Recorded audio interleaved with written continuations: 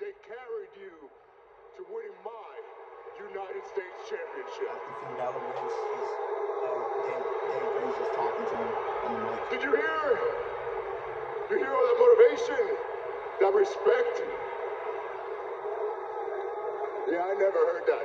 My entire reign, they never gave me that, even though I busted my ass and I was successful in spite of each and every one of them. I have a feeling he might bite to me. So basically, I feel like- I don't know what I'm if it's just saying me, is, I feel like I'm gonna off win that championship face. back. Coming down behind below. know that you love, with a heel or a face? that admiration, all that motivation ain't gonna mean a damn thing. Uh-oh. And then you step in to Damian Priest.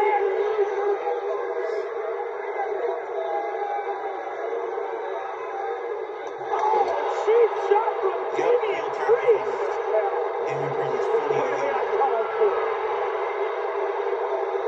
He attacked uh, Finn Balor after he lost the championship. I understand Priest's emotions running high after losing his coveted United States title, but this is classless. This is, this is the last thing I expected from Damian Priest to defeat. It was a hard-fought battle by both competitors, and tonight wasn't Damian Priest's No, night. no, no, no, no.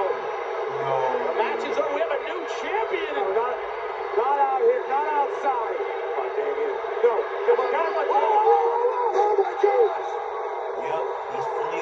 We just beat the living crap out of him. Yeah, I feel like this is going to stretch out to WrestleMania. down the I think this is going to be a banger. Maybe, you bring out the demon Finn Balor. Right now, Finn Balor's laid out.